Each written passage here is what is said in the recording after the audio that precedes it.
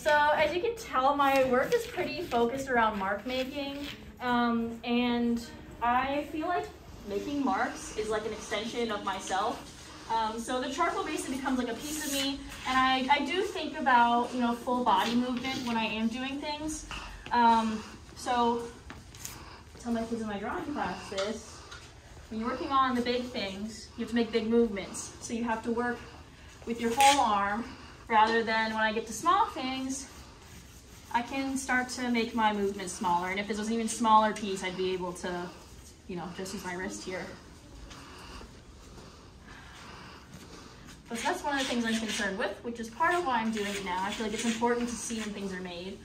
And one of the things that I also like to play with a little bit is are my surfaces. So I'm kind of having to adapt here to this wall, which does not take the charcoal as nicely as the paper would. I'm also getting it all over my face.